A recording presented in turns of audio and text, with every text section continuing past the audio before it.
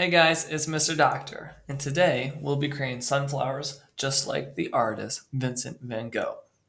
We'll be creating a table, a flower vase, and of course, flowers. Now, for our drawing, I'm going to be focusing on making sunflowers, but you could certainly make a different type of flower. Uh, we're going to jump in by using a pencil first, and we are going to make the vase near the bottom of our paper. Now your vase shape can be any shape you really want it to be.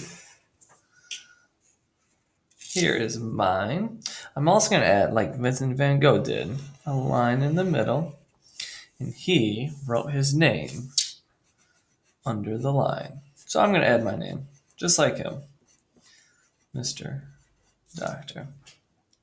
Now, after the vase, I want to go ahead and draw the table. You could draw a straight table, or a curved table, or something else. I'm going to do the curved table. But when I get to the vase, I'm going to have to stop and hop over and continue over here. That is because my vase is in the front and my table is in the background. Now, on to our flowers. For our flowers, we're going to draw five to six flowers, and we're going to start with circles, the center. And these circles should be the size of our thumb. And we're going to do five or six of these. I'm going to do two low, two of them high, and I think in the middle is a great place. I'm going to add one over here too. This one's going to be leaning out of that flower vase. I got one, two, three, four, five, six. After you make your five or six circles about the size of your thumb, I want you to draw big petals on each of these circles. Your petals can really be any shape you want. These are some big round ones. You could certainly do different ones. Here's some wavy ones. I kind of like these ones the best because each petal is just going to look a little different. Now, over here, my petals are so big they're falling off the edge of the paper. That is great. That is what we like to see. This one too, so big goes right off. Uh, I got three more to make, so I'm gonna work on these. Some oval ones. Now here, we kind of ran into a problem. My flower is overlapping the vase. And so I'm going to go back and erase the vase that is under our flower because I want the flower to be in the front and my vase to be in the back. If you need to, sometimes it's really good to turn our paper when we're making our art. So think about turning that paper while you're making your petals today. This one's not my favorite, so I'm gonna go back and clean it up a little bit.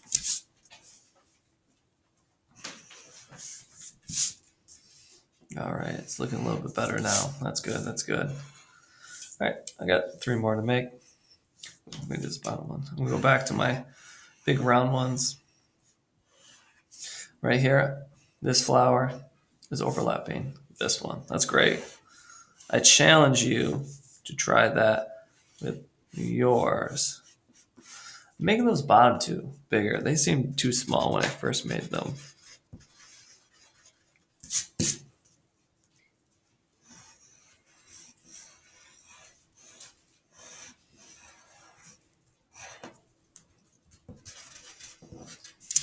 All right, two more to go. All right, again, my favorite. These wavy, curvy ones.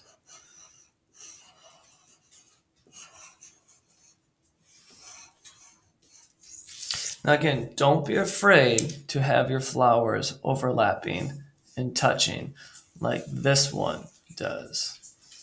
All right, I got one more to go. I'm gonna go back. Let's see. I, I'm gonna do my favorite. These wavy ones.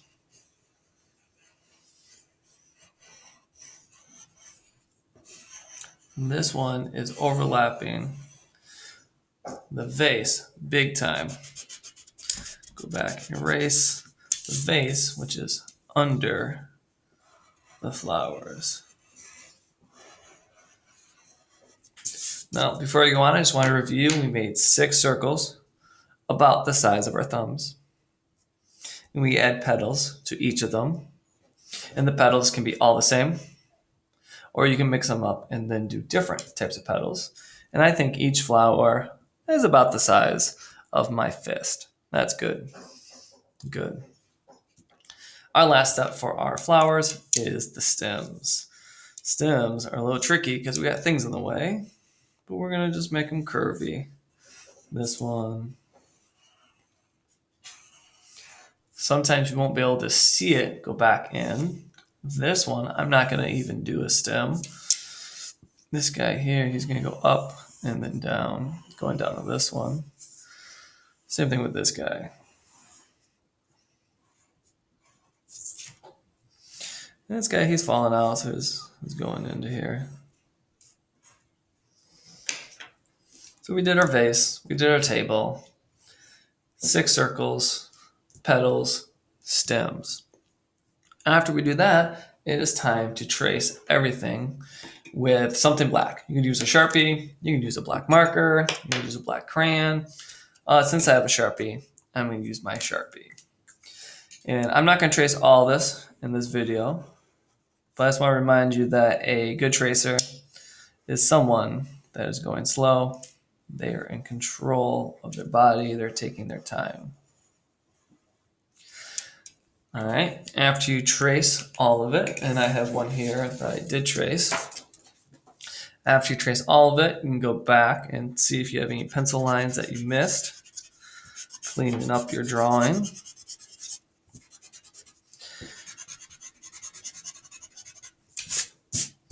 There we go. So I traced it and I erased. Now I'm going to add some color. When we're adding color, you can use any coloring tool. You can use markers, crayons, oil pastels would look beautiful on here. So would paint. Um, I'm going to be sticking with some crayons and I'm going to pull out colors that I think would look good for my sunflower. These colors are going to be the hot colors, reds, orange, and yellows. Now, if you want, you can make different flowers. You can make these into roses or tulips or lilies. I'm making sunflowers, so these are the colors I picked. Let me show you some ways you could color your flowers. You could do each petal just one color. Like here is going to be my yellow flower. Then I'm going to go around and do all of these ones yellow. That might be the easiest one. A harder one would be to use two colors on a flower. So we'll start with like a darker color towards the middle.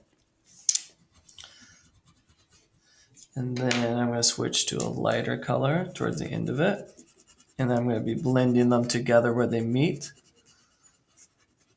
Just like this. This is a little bit harder, more advanced, so I challenge some of my expert artists to try this. Another one you can do is take a light color. Let me take my yellow again. Go over here. Do one color again. But then you take a darker color and then do a dark this dark red here. You can draw on top of it some little details. That looks great. Turn out good. Uh, for my centers, I'm going to be sticking with brown. There's my brown. Um, to, for a challenge though, you can do brown plus another warm color. Like brown and orange would look good. Brown or red. Or you could just keep it brown. So we did petals, easiest, a little harder. We then did our brown centers. Now our stems are going to be green. I challenge you to use a couple different greens. It's going to make your artwork more interesting. There's lighter green. I'm going to switch to a darker green now.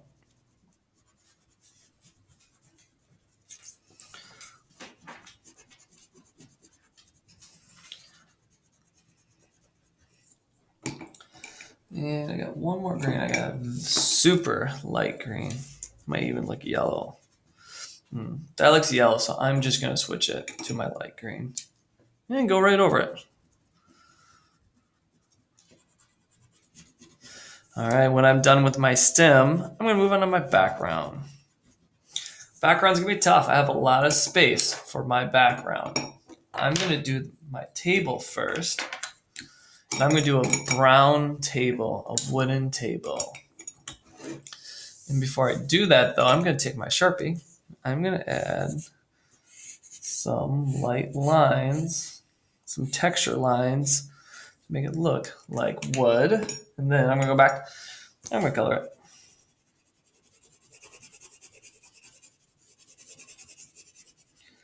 And with my brown table, I'm to use brown lightly And then I'm to go back with this tan color, this peach skin color. And I'm to go onto any of my white spots that I missed.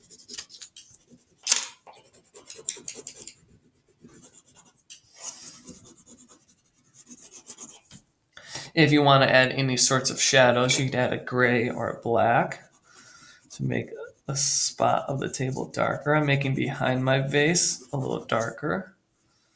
I might need some black there. Gray didn't really show up. There you go.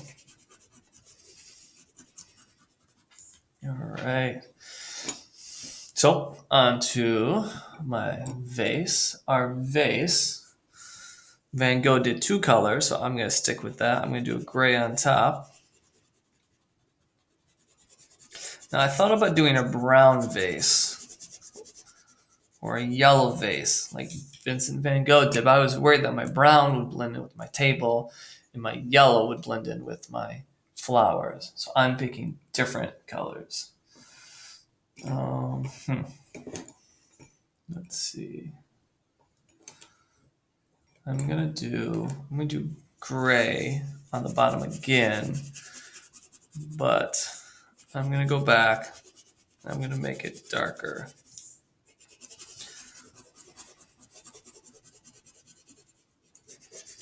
There's my gray, but then I'm to do a blue, a light blue over top of it.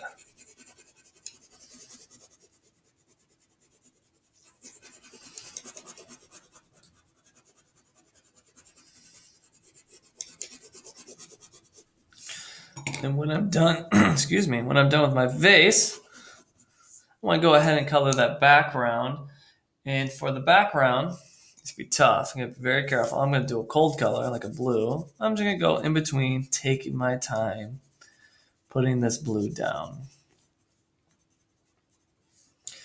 Now, oil pastels would, would work great for this project. I'm using crayons. I encourage you to use whatever art material, material you love the most. Uh, one more thing for my background. I know it's kind of hard to see. I did really light. You can go back and add some purple to it also.